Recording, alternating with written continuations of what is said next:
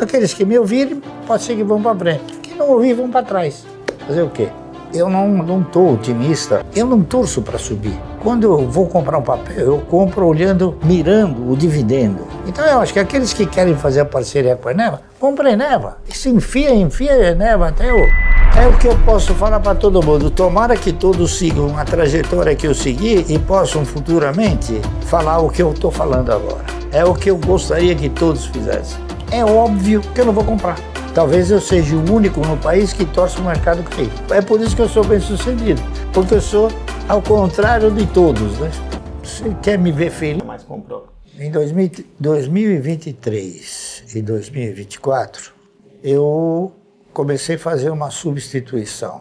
Primeiro, eu vendi ações de uma empresa chamada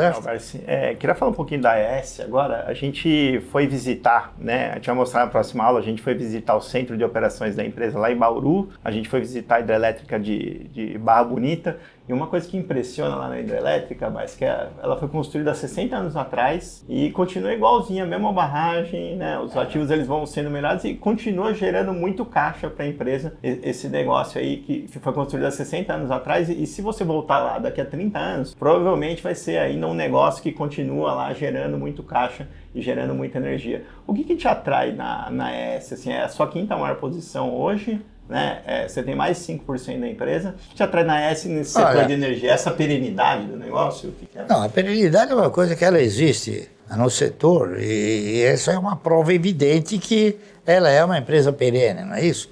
O que ela, o que ela tem de sobressaltos é quando Jesus Cristo manda água ou não, né?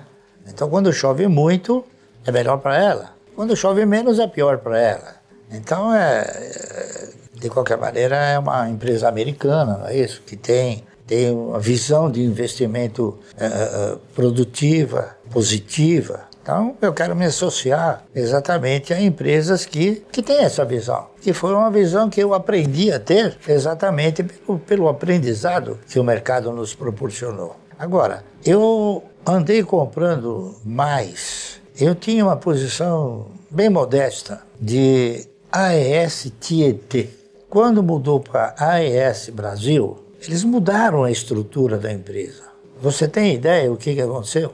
Começaram a investir em eólica, em solar e tal. Começar, começaram a investir em eólica, solar, mas eles fizeram uma coisa que o brasileiro, o analista brasileiro não dá valor, tá entendendo? Eles tinham, por exemplo, uma base acionária de 3 bilhões e 600. Eles diminuíram essa base acionária para 600 milhões. De ações de ações. O que, que vai acontecer? Se ela desse um lucro, vamos supor, de 100 mil reais, ela ia ter que ratear esse lucro em 3 bilhões e 600 milhões de ações. Agora, se ela der um lucro de 100 milhões, ela vai ratear entre 600 milhões só. Então o que, que vai acontecer? O dividendo vai crescer? Não, tá entendendo? O dividendo não vai crescer. Ele vai ser o mesmo, só que o rateio vai ser mais significativo. Por quê? Porque ela tem, ela reduziu a quantidade de ações, diferentemente do que fizeram alguns bancos. Por exemplo, você sabe qual é a base acionária do, do Bradesco? Tem ideia?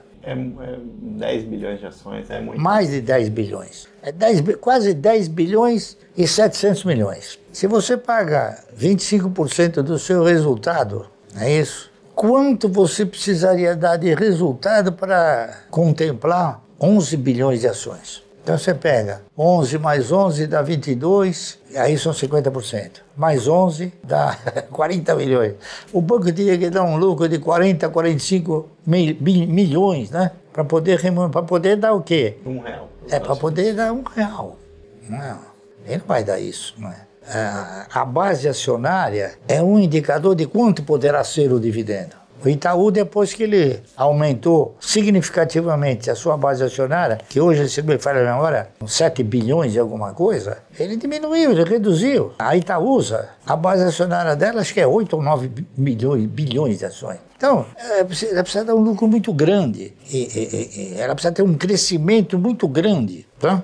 para poder remunerar bem. E eu também vendi as minhas ações da Itaúsa, porque ela, a Itaúsa é uma holding, não é isso? E o melhor papel que ela tem na sua carteira se chama Banco Itaú. Só que aí ela começou a comprar ações de outras empresas que eu não achei um bom negócio. Por exemplo, ela andou se associando para comprar um negócio. CCR. Alpargata, é, sabe o que é alpargata? Chinelinho. Entendeu? Então ela, então ela comprou um produto de chinelinho.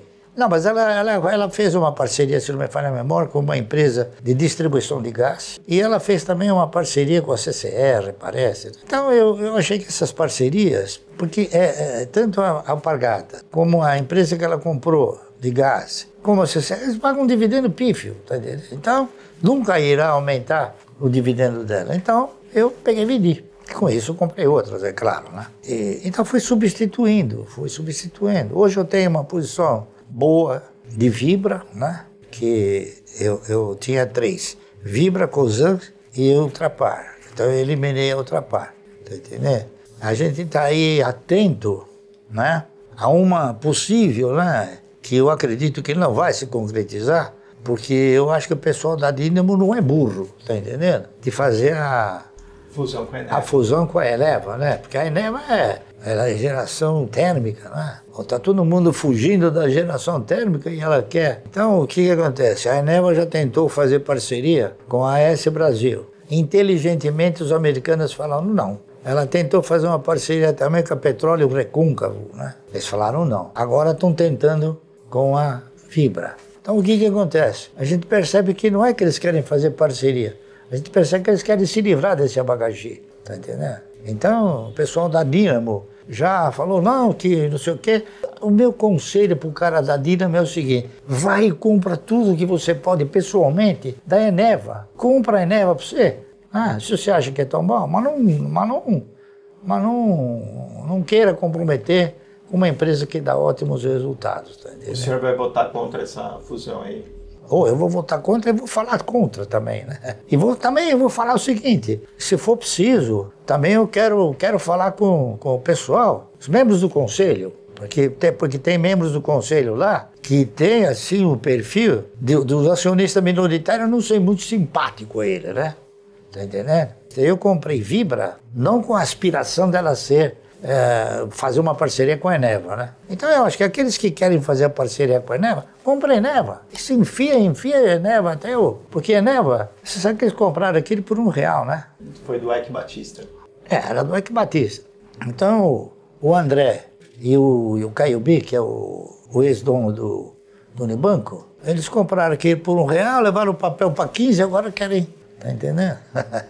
se for por 50 centavos, talvez a gente não é? 50 centavos, mas mais do que isso não. Tá bom. Ô, Barça, a gente estava falando aqui há pouco que é, o investimento orientado a dividendos, ele cresceu muito no Brasil nos últimos anos e tem dados que você consegue puxar da bolsa que mostram isso. Então, o Banco do Brasil hoje é a ação que mais tem acionistas no Brasil, são mais de um milhão de acionistas a Clabin, quando você pega o número dela em abril de 2022, ela tinha 250 mil acionistas. Agora é. tem mais de 600 mas, mil acionistas. Mas o Banco do Brasil também quanto... foi outro papel que a gente sempre falou. É, era justamente a minha pergunta. Quanto o senhor acha que o senhor é responsável por é, esse crescimento do investimento orientado a dividendos no Brasil? Não, eu não quero me, me considerar um responsável. E eu fico feliz que houve esse crescimento, porque na realidade esses papéis que a gente comentou, realmente eles são papéis que produzem e oferecem um bom dividendo. Não é isso? Então, eu acho que eu me sinto até, até feliz por muita gente ter escutado o que eu falo. Porque, na verdade, é, faz parte da minha carteira o Banco do Brasil, né? Desde 1971, 72. E se for possível ainda, ainda eu compro um pouco mais. Mas é que não dá crise, o Banco do Brasil não tem crise é, a gente fica torcendo né, por, um, aí por uma, alguma coisa, mas é, lamentavelmente ele está melhorando os dividendos, né, melhorando o lucro, então é isso aí.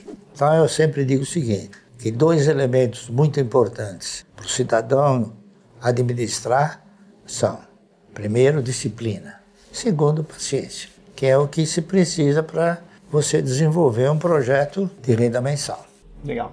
Ô Barsi, é, quais foram os principais movimentos aí da sua carteira em 2023? Assim, o que, que você, se você vendeu alguma coisa, o que, que você mais comprou? Em 2023 e 2024, eu comecei a fazer uma substituição. Primeiro, eu vendi ações de uma empresa chamada Ultrapar, porque a Ultrapar passou a ter uma distribuição de dividendos mais, mais assim tímida, não é isso? Então eu desfiz a minha posição porque eu tinha três posições do mesmo segmento: Vibra, Cosan e Ultrapar. Então eu eliminei uma, certo? E eu tirei, por exemplo, ações de uma empresa que praticamente paga um dividendo pífio, que é a Eletrobras ON. Eu tenho Eletrobras PN, que é o que paga dividendo. Outro papel que eu tirei da minha carteira, que foi passando para outros, né, é a Sabesp, tá entendendo? Porque eu não acredito a Sabesp nesse preço, é, não acredito que ela possa ser um bom, um bom investimento nesse preço. Eu comprei Sabesp a 3, 4, 6, 7, 8 reais, aí sim. Mas, e o dividendo dela era melhor, porque o lucro também era maior. Agora o lucro diminuiu muito, o dividendo passou a ser pífio, tá entendendo? Então você tem que fazer o seguinte, você tem que você tem que eh, equalizar as coisas de forma tal que você possa ter mais dividendos, tá entendendo? Dentro desse princípio. Mas aí você tirou então Sabesp, Eletrobras, ON é, Ultrapar. e Ultrapar da carteira. E, e eu tirei também, eu já tinha tirado, que eu já tinha falado, eu tirei também Itaúsa, é isso? E aí você tem colocado o que na carteira no lugar, Marcinho? Eu tenho colocado Caixa de Seguridade. Eu só compro quando ela cai. E lamentavelmente não está caindo, né? A gente fica chateado, mas tudo bem. E por que, que você gosta dela, Barça? É, não é que eu gosto dela, eu gosto do, do, do setor seguro, né? Eu acho que a Caixa tem, uma, tem um potencial muito bom de consolidar essa, essa empresa através do, do, do, do, seguro que ela desenvolve, né? Todo, todo, todo financiamento de casa própria tem um seguro. Então eu interpreto que, como tem acontecido uma série de movimentos positivos na área imobiliária, eu acredito que ela deva performar bem. E ela está performando bem.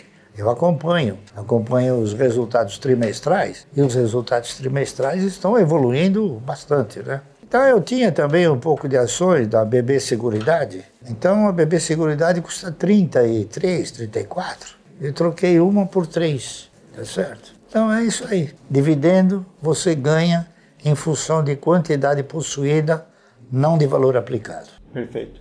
Ô, Barci, com a caixa seguridade aí subindo, ficando mais cara, aí você tá, tá de olho em alguma outra coisa? Não, eu, eu principalmente, eu estou comprando agora a caixa de seguridade e eu andei comprando também ações de uma outra empresa chamada Aurem. Já fiz uma posição boa também. Hoje ela está tá 13, 13,50 parece hoje. Só que agora em 2023, ela deu 3 reais de dividendos, né? Então, mais de 20% de retorno. Mais de 20%. De então, é uma das minhas rendas fixas. A Caixa a, a Aurea é uma da é renda fixa, não é renda variável. Tá entendendo? Que ela tem um monte de contrato de energia já vendida é, e tal, é, sempre pô, vai. Não tem problema nenhum. E outra, ela tem um compromisso, né? É, por exemplo, ela tem um compromisso Primeiro, para distribuir dividendos para uma organização que tem no seu DNA receber dividendos, que é a Votorantim. E outro, um fundo de pensão. Olá pessoal, hoje vou mostrar um pouquinho para vocês do AGF+, a nossa plataforma aqui do Ações Garantem. Bom, o primeiro passo depois que você assinou o AGF+, é acessar a plataforma, cadastrar sua carteira via B3. Você importa automaticamente. Assim que você fizer isso, você pode baixar o aplicativo e essa vai ser a sua tela de home. Logo na parte inferior, vocês já encontram o aportador, que é uma ferramenta desenvolvida pelo Ações Garantem para mostrar dentro da sua carteira quais são as ações elegíveis para aporte no momento, baseado em proximidade do anúncio de dividendos, yield e também preço teto. Seguindo, vocês têm o resumo da agenda de vocês, tá bom? Baseado de novo na sua carteira. E por fim, o MDI, que é o mapa do dividendo inteligente, que vai mostrar na sua carteira quais ações estão prestes a anunciar dividendo. Baita ferramenta, né?